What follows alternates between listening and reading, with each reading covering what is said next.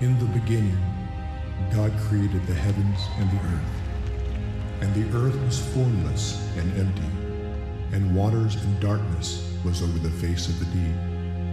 And the Spirit of God was hovering over the waters. And God said, Let there be light.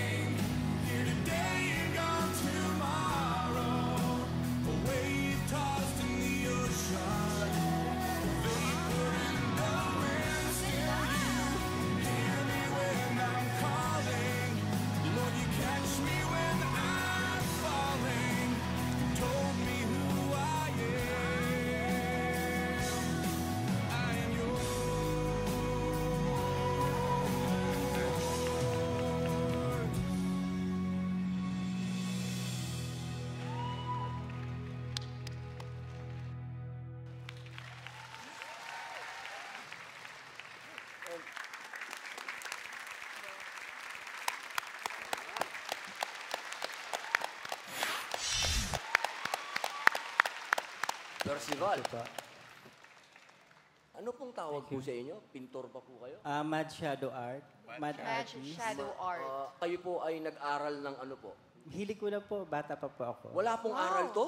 Hindi ako nag-aral ng art. Ng Wow. school sa art. Eh, imagination lang po ninyo to? Apo. Wow, man.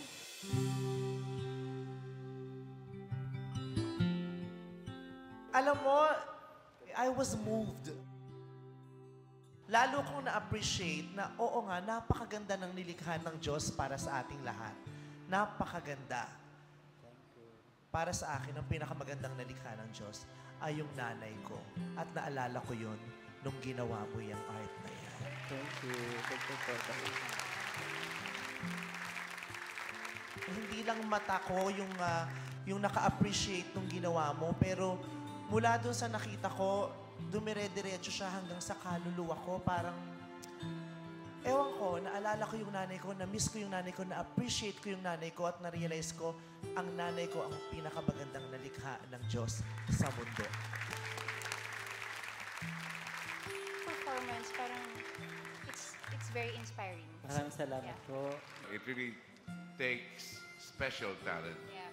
To Salamat po. create something like this in a span of two minutes without any erasures. No? Ang, ang ganda ng story mo. You're really very talented. So, shall we vote? Sure na sure na yes. Thank you.